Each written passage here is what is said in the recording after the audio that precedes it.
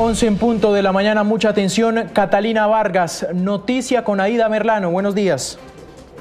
Así es, Juan Camilo, muy buenos días. Pues eh, la Fiscalía llama formalmente a juicio al excongresista Aida Merlano por la fuga que ella protagonizó el primero de octubre del año 2019 de un desde un centro odontológico en el norte de la capital del país. Recordemos que Aida Merlano no aceptó los cargos de fuga de presos que le imputó el ente investigador y es por tal razón que ahora deberá enfrentar un juicio para responder por este delito y pues tratar de demostrar su inocencia en estos hechos. Recordemos que Aida Merlano ha señalado o ha sostenido que ella fue presionada y que por el contrario no, eh, pues su fuga no se debió a algo que ella hubiese querido hacer, sino por el contrario fue víctima de presiones indebidas y en las cuales supuestamente habría sido también víctima de un supuesto intento de homicidio.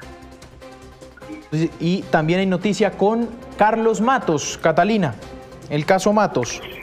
Sí, se mueve el caso Matos, Juan Camilo, específicamente eh, lo que tiene que ver con el juez Reinaldo Huertas. Recuerde usted que este juez fue la persona que le habría ayudado a Carlos Matos a redireccionar un proceso, una demanda que se llevaba en ese entonces por parte de Carlos Matos contra la multinacional Hyundai.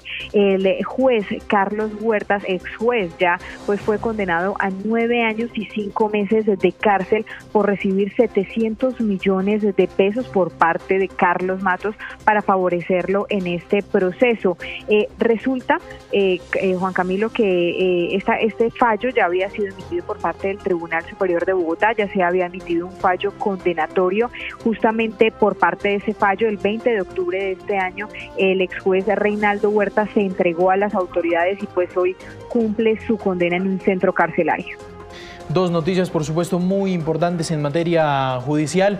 Gracias, Cata. Noticia en desarrollo, por supuesto. Así es, noticia en desarrollo con todo lo que tiene que ver con el, la excongresista Aida Merrano y por supuesto con este caso Hyundai que involucra a Carlos Matas.